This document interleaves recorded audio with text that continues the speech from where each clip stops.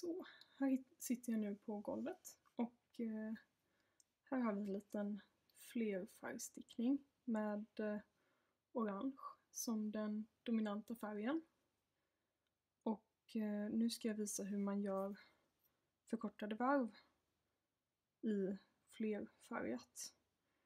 Så jag lägger den dominanta färgen längst fram på pekfingret. Så. Och så ska vi sticka som vanligt ett tag.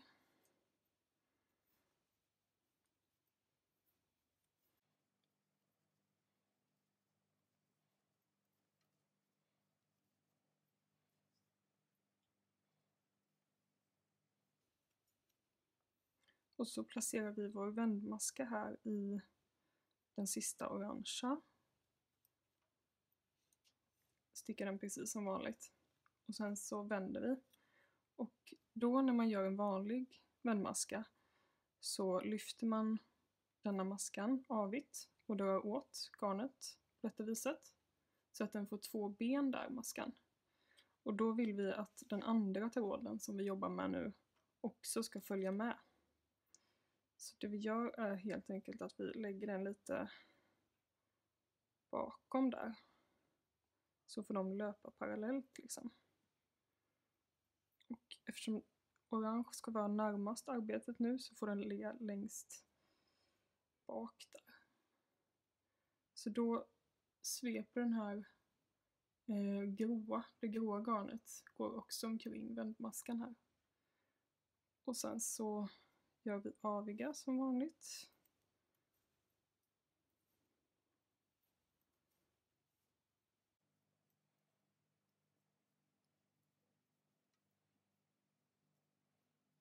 Nu kan jag sätta min vändmaska i den sista orangea här.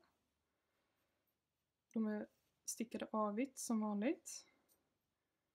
Vänder där och då brukar man ju ta garnet till framsidan och dra åt. Och då följer den grov, eh, bärsa också med. Så de får båda löpa över där. Och det kommer inte synas sen. Så den här gråa eh, bärsa kommer också stickas tillsammans med dubbelmaskan sen. Så.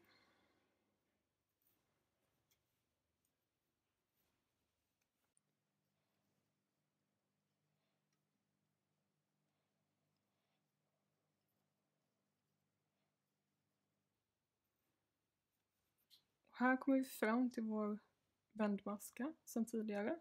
Och då ser vi att den också har den här eh, beiga garnet i sig.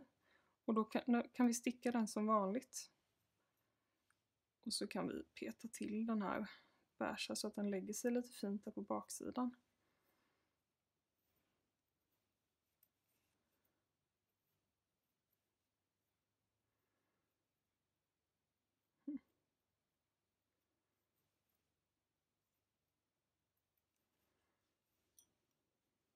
Så.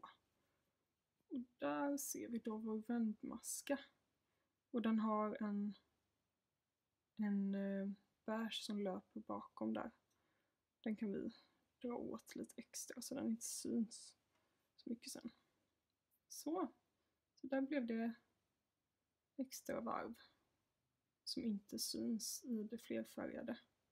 Och samma gör vi då när vi ska sticka på den aviga sidan och sticka vår vändmaska.